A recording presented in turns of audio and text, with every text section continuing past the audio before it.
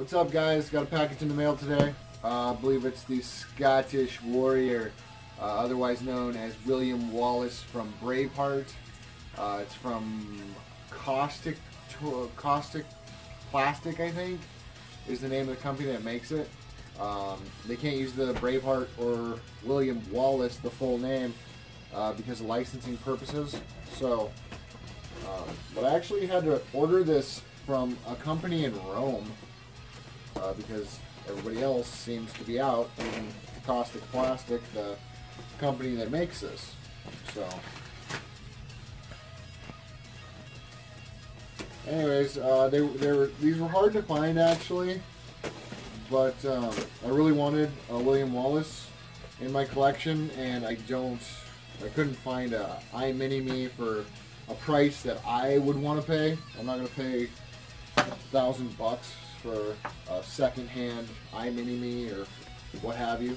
So I went this route, and maybe I'll get a custom head later in the future. We'll see. Anyways, let's go packing. So this company I got it from did really good packing. That's always a good good thing.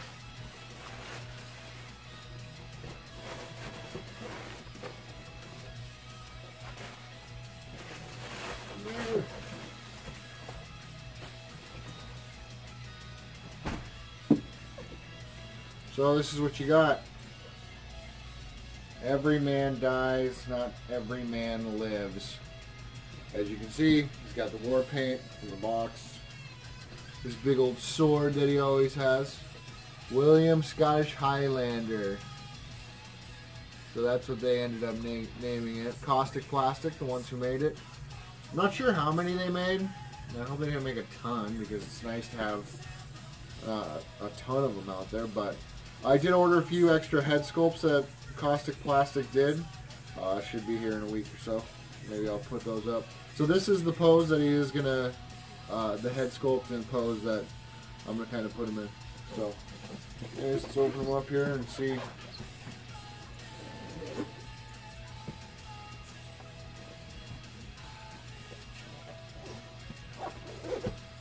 Looks like your uh, normal shoe box here is what looks like the packing. Opens up. Good foam for cover, which is great. Oh, he comes with two head sculpts. Oh, nice. He actually comes with uh, his buddy. Ah, that's cool. That's awesome. Wow, that's, that's really cool. I do like that. Uh, anyways, let me show you what I'm talking about here. So you're not sitting there like, what? What's he talking about? So let's make sure none of it falls out here. Actually, let's just take the foam out.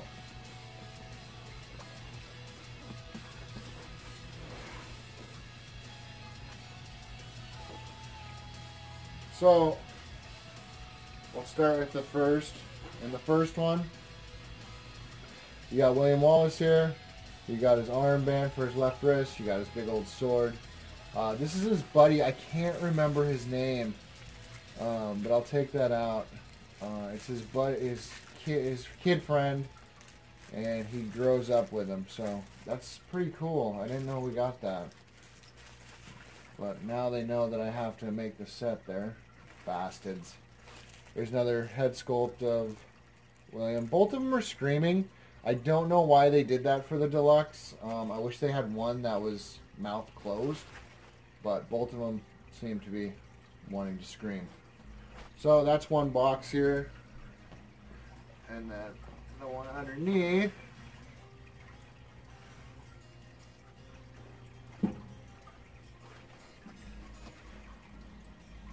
So what you got here, sorry if these aren't close enough, I'll make them. So you got some extra hands, got some extra arms. These arms look better. Well, maybe not. Uh, they're just different grips, I think. I don't know, we'll pull them out and kind of see what goes on. It's got an extra kilt set up here. Um, and nice shield, nice textured, looks good. And his, his sledgehammer he uses in the beginning.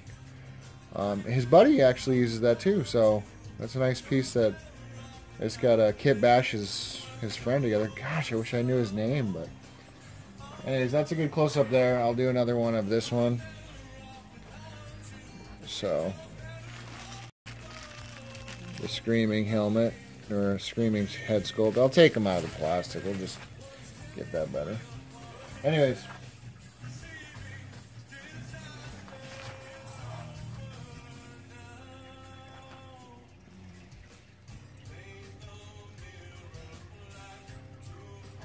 The good thing I do like about these is that he is already he's already set up. Um, I do know the i Mini Me, uh, you had to actually put on the kilt and everything. And for me, I'm just like, I'm too lazy for that. And I saw how they did it, and it looked just to be a freaking nightmare. So, anyways, that's a close-up of him.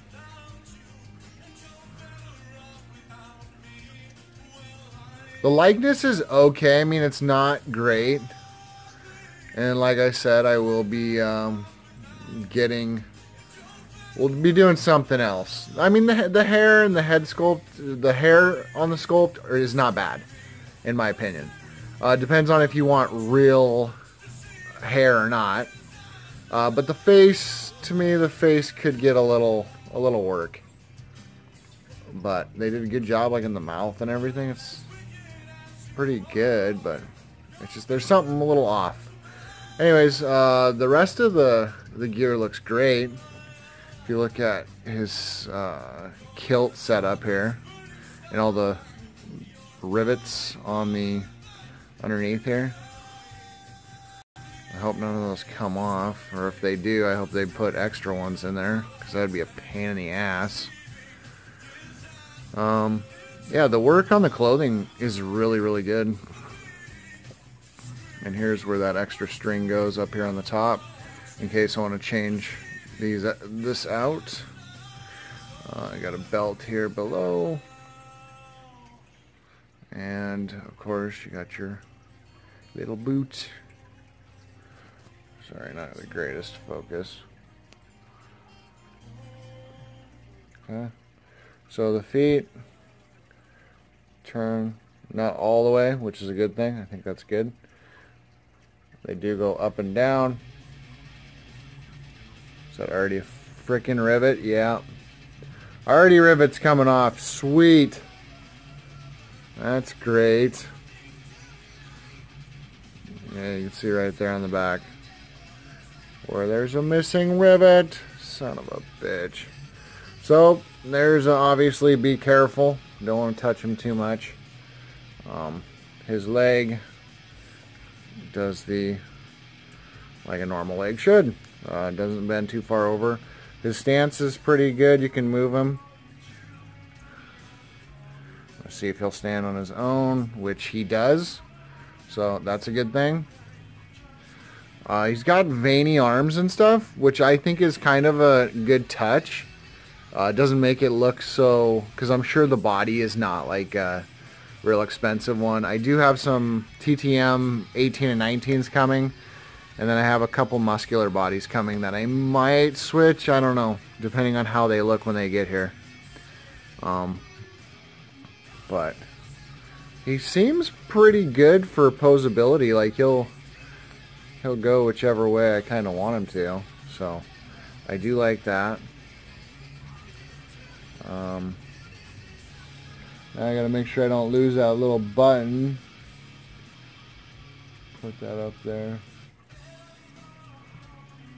And there's another one already come off. Yuck, I don't like that. So, oh well. I guess he wouldn't be perfect in battle condition, right? So, I don't know if they'd actually fall off, but... Anyways, let's uh, pull some of the other stuff over here. Try not to touch his back, so... Okay, you were just standing great. Now you're not going to stand great. There you go. Alright, let's see what else we got. So the war paint head sculpt. Yeah, I like this one much better than that plain one. This is probably the one I'll actually pose him with. Uh, it's the exact same head sculpt, but the hair is a little different, obviously. Uh, the other one looks like almost like he's um, riding a horse, you know, like his hair is flowing back kind of a little bit. Where this one, it's just sitting down chilling, which is good. And the blue paint makes it look um, more accurate, more screen accurate in my opinion.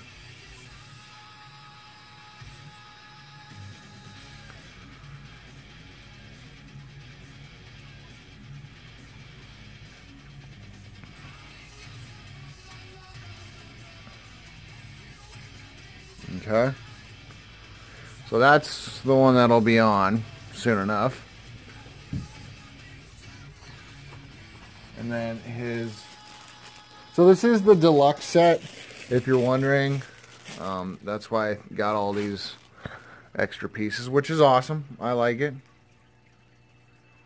So, I don't know. It kind of looks like, I think Brendan Gleeson, I think is the name of the actor. Kind of... I know that's what they're going for. So, I mean, it's kind of resembles them a little bit, but not... I mean, if I got another one, I'd set him up like that. Um, but... I don't know, he's not going to be a top priority, obviously.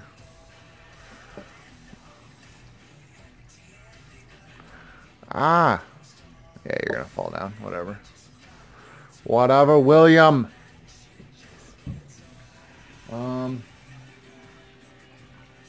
Oh wow, that's it's got some dents to it actually. Um, his big sword that, as you know, it's in the end. Uh, the thing I do like about the I Mini set that I've seen, it's got the little ribbon on here, um, like it's screen accurate. This one obviously doesn't, but it's got good weight to it, which I do like. Uh, I bet him holding it, it's gonna uh, set his weight off, but whatever. We'll make it work. Little wristband. It's going to go on his side. On his forearm.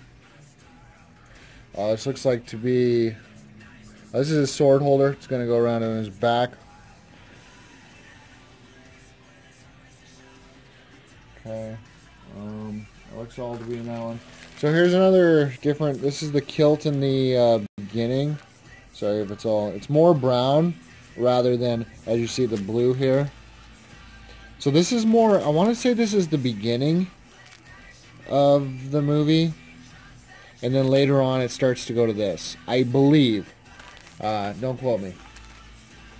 The stand there's your stand. I will probably get a stand customly made by Stony Stands. Shout out to him. He does amazing work. Um, another weapon. The big old hammer. Which is awesome. I thought there was some blood there on the top. Kind of looks like a little tinge. But... It's actually got some good dents like the uh, sword. Here's his shield. Good detail.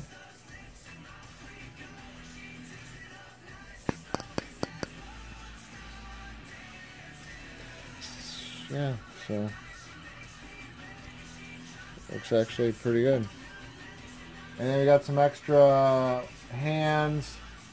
And then the last thing is the pick. Once again, another weapon that's used in the very beginning when after his wife gets killed. Um, so yeah, these two weapons are big in the beginning. And obviously, this is big throughout the rest of the movie. So, it's a pretty, it's a big sword. I mean, that's it. it goes up to his shoulders. So, so that's it, guys. I'll uh, do a little how I posed him. Uh, I think the figure is great uh, for what it is.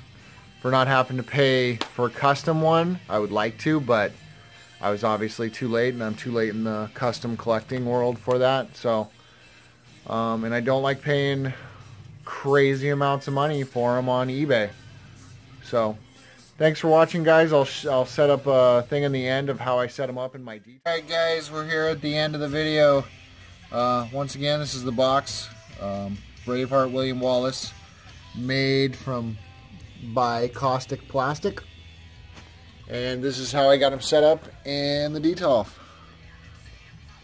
Got his weapons around him, sword above him.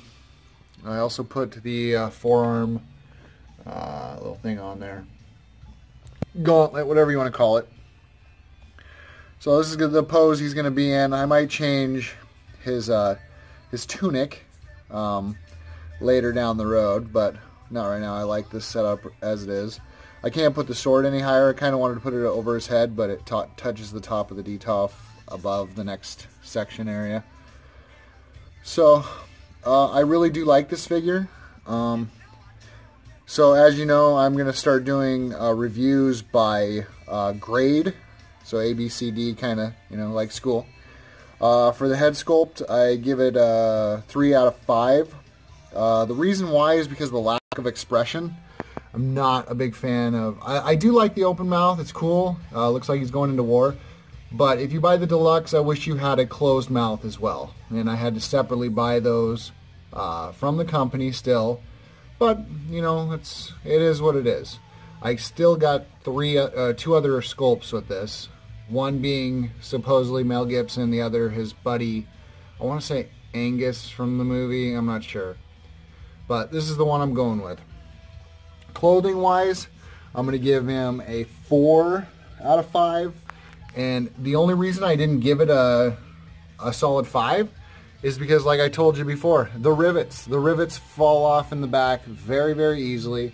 I'm not a huge fan of that. Um, the weapons and accessories are, uh, I give it a 5 out of 5. I think the quality of them is fantastic. Uh, they are die cast, which I think is absolutely just, it's good. I think die casts are amazing, especially for these uh, 1-6 figures. Uh, I think plastic, if you're going for metal weapons, is just ridiculous. So, um, I, I love all the weapons they did here. Um, the body, uh, just the body that comes with, I give it a 5 out of 5 as well. Uh, it's got veins in it, makes it look a little more real. Uh, it's easily movable. You can move them in all sorts of positions. Um, so yeah, I really liked it. The total score is uh, 17 out of 20, if you're paying attention there. And I'm going to give them a solid B. Um, I think if you are a huge Braveheart fan, you have to have this in your 1-6 collection if you didn't get the iMini-Me's. So this, I'm very happy with this figure to be honest. And I'm happy I got it. And once again, thank you for watching. This is the Nerdiest RN out. Keep collecting, my friends.